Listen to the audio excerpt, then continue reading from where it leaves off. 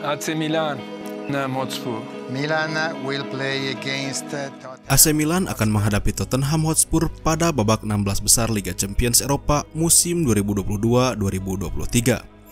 Sejatinya tim ini bukanlah musuh bebuyutan yang rutin bertemu di pagelaran Eropa. Tercatat keduanya baru bersua sebanyak empat kali, masing-masing dua kali di UEFA Cup dan dua kali di Champions League. Dari keempat pertemuan tersebut, Tottenham memiliki catatan yang lebih baik dari Milan dengan dua kali kemenangan dan dua kali hasil imbang. Namun ada satu kejadian yang mungkin tidak akan dilupakan begitu saja oleh penggemar kedua tim, yaitu kala Gennaro Gattuso marah besar hingga menanduk dan memiting Joe Jordan dan berseteru dengan orang-orang yang berada di bench Spurs saat itu.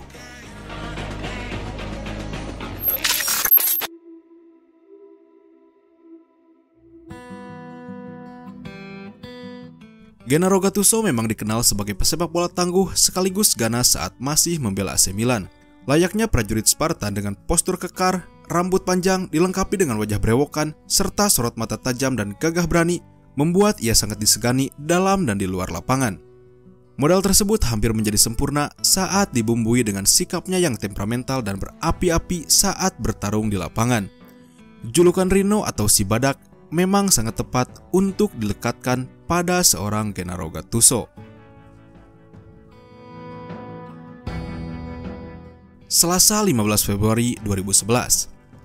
Kala itu Milan menjamu Tottenham pada leg pertama babak 16 besar Liga Champions yang digelar di San Siro.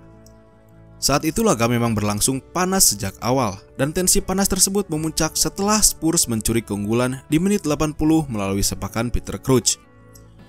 Bermula dari tackle horror Flamini, Gattuso bersih tegang dengan staf pelatih dari Spurs yaitu Joe Jordan.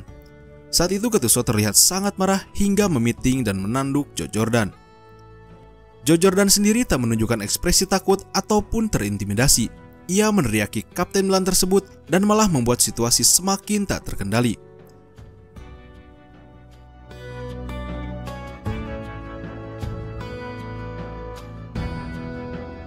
Jordan sendiri sebenarnya merupakan mantan pemain asal Skotlandia yang pernah membela Milan pada musim 1981 hingga 1983 dan dulu ia sangat dihormati di San Siro.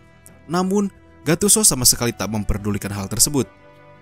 Butuh 5 hingga 10 orang untuk menahan Gattuso dari tindakannya yang semakin brutal. Sebagian kabar menyebut bahwa kemarahan Gattuso semakin menjadi setelah Jordan menggerutu dan menyebutnya Italia. Tentu perkataan tersebut tidak akan bisa diterima oleh seorang Gattuso yang memiliki jiwa Italia yang lekat dalam dirinya.